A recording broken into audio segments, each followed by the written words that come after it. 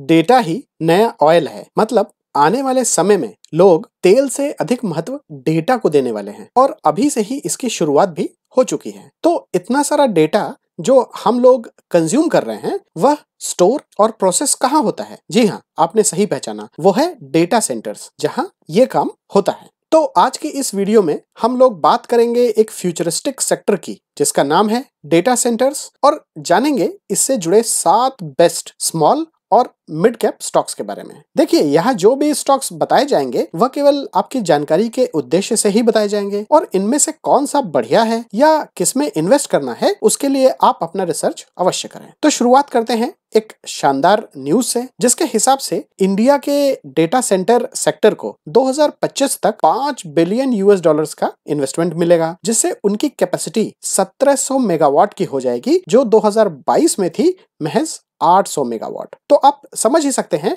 कि इस futuristic sector में कितना इन्वेस्टमेंट आ रहा है और आने वाला है, और ये कितना तेज़ी से ग्रो होने वाला है। अब इन स्टॉक्स के बारे में जानने से पहले थोड़ा समझ लेते हैं कि ये डेटा सेंटर्स आखिर होते क्या हैं? देखिए डेटा सेंटर को आप लोग डिजिटल वर्ल्ड का धड़कता हुआ दिल समझ सकते हैं, जिसके पास में बहुत ही advance computing systems servers storage units और नेटवर्किंग सिस्टम्स होते हैं। ये ऐसी फैसिलिटी होती है जो दुनिया के तमाम डेटा को स्टोर प्रोसेस और शेयर करती है। जब भी आप कोई ईमेल भेजते हैं या फिर वीडियो स्ट्रीम करते हैं या फिर क्लाउड बेस्ड एप्लीकेशन का उपयोग करते हैं, तब ये सारा डेटा सेंटर के थ्रू ही जाता है। तो आप समझ गए होंगे कि ये सेक्टर कितना फ्यूचरिस्टिक है और एक प्रकार से डिजिटल इकोसिस्टम का हृदय है। तो आपको इस फ्यूचरिस्टिक सेक्टर को बिल्कुल भी इग्नोर नहीं करना चाहिए। अगर आप स्टॉक मार्केट से बढ़िया पैसा बनाना चाहते हैं, तब। अब आइए जानते हैं पहले स्टॉक के बारे में, जो है नेट वेब टेक्नोलॉजीज़ जो आईटी सेक्टर से जुड़ा हुआ स्टॉक है, और वह डेटा सेंटर सर्वर्स क्लाउड और उससे जुड़े इंफ्रास्ट्रक्चर सुपर कंप्यूटिंग एआई और सॉफ्टवेयर सिस्टम्स के क्षेत्र में काम करता है। अगर आपको याद हो, तब इसका आईपीओ अभी जुलाई 2023 में ही आया था, और वह अभी आईपीओ प्राइस से डाउन ही चल रहा है। कंपनी के बेसिक फाइनेंशियल्स की बात करें, तब इसका मार्केट कैप है चार हज़ार आठ सौ इकसठ करोड़, और इसका करंट मार्केट प्राइस चल रहा है आठ सौ सड़सठ। अगर आप बावन वीक्स हाई और लो की बात करें, तब इसने सात सौ तिरासी का लो बनाया था और नौ सौ तिरासी का हाई। मतलब इसमें आगे काफ़ी ग्रोथ पोटेंशियल लगती है। इसका पी अधिक है। मतलब बाज़ार ने इसको अधिक वैल्यूएशन दे रखी है। पर अगर इसके आने वाले रिजल्ट्स बढ़िया आते हैं, तब इसका पी अपने आप ही एडजस्ट हो जाएगा। कंपनी का आरओसीई यानी रिटर्न ऑन कैपिटल एम्प्लॉयड और आरओई यानी रिटर्न ऑन इक्विटी काफ़ी बढ़िया है, और इसकी प्रमोटर होल्डिंग्स भी शानदार है, जो कि है पचहत्तर परसेंट। डेट टू इक्विटी बताता है कि इनके कर्जे भी कम है, और इसकी प्रॉफिट ग्रोथ तो बहुत ही शानदार है। कुल मिलाकर के नेट वेब टेक्नोलॉजीज़ एक नई कंपनी है, और इसमें इन्वेस्ट करने से पहले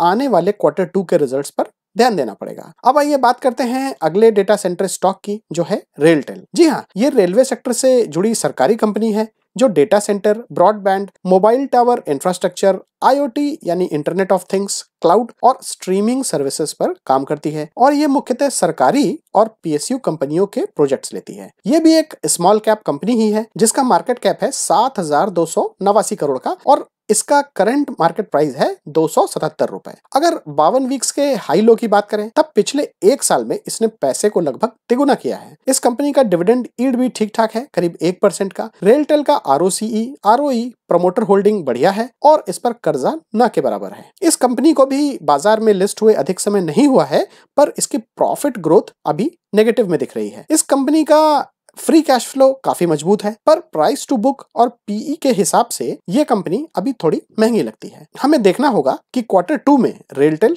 कैसा रिजल्ट्स पोस्ट करता है। अब अगली कंपनी है एडीसी इंडिया कम्युनिकेशंस जो डेटा सेंटर सोल्यूशंस प्रदान करती है और उससे जुड़े हुए कंपोनेंट्स की सप्लाई करती है, जो भी डेटा सेंटर्स में यूज़ होते हैं, जैसे कूलिंग और पावर से जुड़े हुए प्रोडक्ट्स ब्रॉडकास्टिंग और अन्य वायरलेस प्रोडक्ट्स साथ ही साथ वह इनसे जुड़ी हुई कंसल्टिंग और मैनेजमेंट सर्विसेज़ भी देती है। अगर आप इसका मार्केट कैप देखेंगे तो वह है महज तीन सौ इक्यावन करोड़ का। मतलब ये कंपनी माइक्रो कैप कंपनी है, जिसका करंट मार्केट प्राइस है सात पिछले एक साल में इसने भी इन्वेस्टर्स के पैसों को लगभग तिगुना किया है और इसका वैल्यूएशन भी काफ़ी हाई जा चुका है। ये है तो एक माइक्रो कैप कंपनी, पर देखिए, ये डिविडेंड भी देती है, जो कंपनी के लिए एक पॉजिटिव संकेत होता है। आर ओ सी और प्रमोटर होल्डिंग बहुत बढ़िया है एडीसी इंडिया का, और डेट टू इक्विटी एकदम ज़ीरो है मतलब कंपनी के ऊपर कोई भी कर्जा नहीं है। अब आप समझ गए होंगे कि क्यों एडीसी इंडिया एक साल में ही इतना भाग गया? क्योंकि इसके फंडामेंटल्स शानदार हैं। ये कंपनी पुरानी है और अभी इसका 10 साल का रिटर्न्स देखें तो वह है इक्कीस दशमलव नौ प्रतिशत, सात साल का चौदह प्रतिशत, पाँच साल का बत्तीस प्रतिशत और तीन साल का इकसठ परसेंट रिटर्न है। हालाँकि इस कंपनी की प्रॉफिट ग्रोथ और फ्री कैश फ्लो अभी नेगेटिव में है, इस बात का ध्यान रखें। अगला स्टॉक है ऑरियन प्रो सोल्यूशंस जो data centre solutions smart city solutions big data analytics, cloud services और कंसल्टिंग के क्षेत्र में काम करता है। ये भी एक स्मॉल कैप कंपनी है, जिसका करंट मार्केट प्राइस है चौदह सौ नौ रुपए। इसने पिछले एक साल में निवेशकों का पैसा लगभग पाँच गुना किया है। इस कंपनी का पी अभी बत्तीस का है और ये डिविडेंड भी देती है। ऑरियन प्रो सोल्यूशन का आर ओ बढ़िया है, पर प्रमोटर का होल्डिंग कम है। इस बात का ध्यान रखें। कंपनी के ऊपर कर्जे काफ़ी कम है और इसका प्रॉफिट ग्रोथ और तीन साल का फ्री कैश फ्लो बढ़िया है। अगर आप इसका पिछला रिटर्न देखेंगे, तब वह है दस साल में चालीस प्रतिशत, सात साल में चौवालीस प्रतिशत, पाँच साल में चौवन प्रतिशत, तीन साल में एक सौ चौसठ प्रतिशत और एक साल में आप देख ही रहे हैं। मतलब ये कंपनी लॉन्ग टर्म में धुआंधार रिटर्न दे रही है।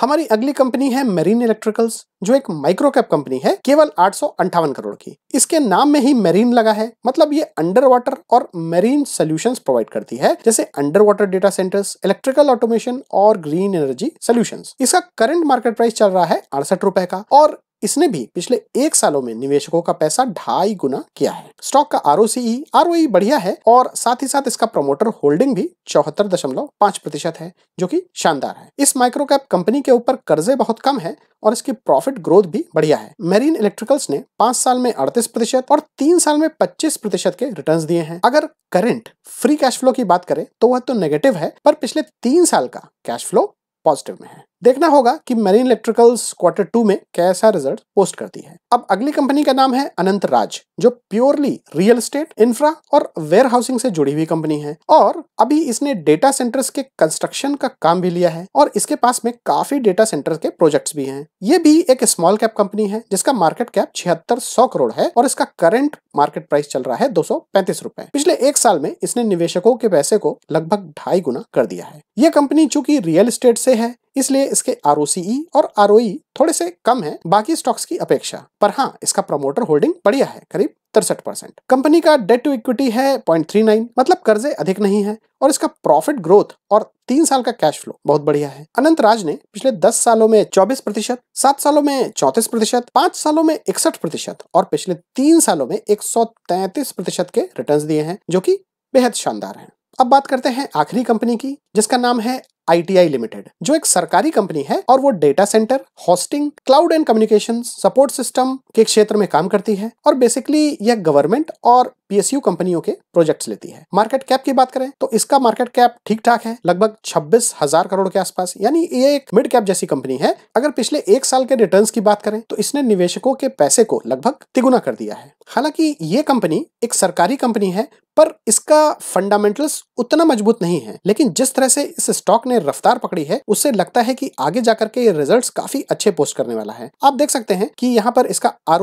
और आर अभी फ़िलहाल नेगेटिव में है। प्रोमोटर होल्डिंग नाइन्टी परसेंट है। मतलब आगे इसमें ओएफएस आने के पूरे पूरे चांसेस है। यानी जब भी सरकार ओएफएस लेके आएगी, तब आईटीआई का स्टॉक गिर सकता है। डेट टू इक्विटी रेशियो भी पॉइंट एट है, यानी कर्जे इसके ऊपर हैं, पर चूँकि ये वन से कम है तो ये कर्जा मैनेजेबल है। वहीं पर अगर आप देखेंगे तो प्रॉफिट ग्रोथ नेगेटिव में दिखा रहा है। फ्री कैश फ्लो तीन साल का नेगेटिव में है। रिटर्न की बात करेंगे तो दस साल का रिटर्न है तैतीस प्रतिशत, सात साल का रिटर्न है अड़तीस दशमलव पाँच प्रतिशत, पाँच साल का छब्बीस दशमलव सात प्रतिशत, तीन साल का है लगभग तीस प्रतिशत और एक साल का रिटर्न तो आप जानते ही हैं। वहीं अगर करंट फ्री कैश फ्लो की बात करें तो वो भी नेगेटिव में है। कुल मिलाकर के ये जो सरकारी कंपनी है आईटीआई उसका हाल फ़िलहाल का फंडामेंटल्स तो जस्ट ओके ओके है पर इसमें इन्वेस्ट करने से पहले हमें इसके आगे के रिजल्ट्स देखना बहुत ही आवश्यक होगा। तो ये कुछ ऐसी स्मॉल कैप और माइक्रो कैप कंपनियाँ हैं जो फ्यूचरिस्टिक सेक्टर यानी डेटा सेंटर से जुड़ी हुई हैं और भविष्य में मल्टी बैगर बन सकती हैं। हालाँकि इसमें से काफ़ी सारी कंपनियों में रैली ऑलरेडी आ चुकी है, पर कुछ में अभी भी काफ़ी पोटेंशियल बाकी है। अगर आपको इन स्टॉक्स में इन्वेस्ट करना है,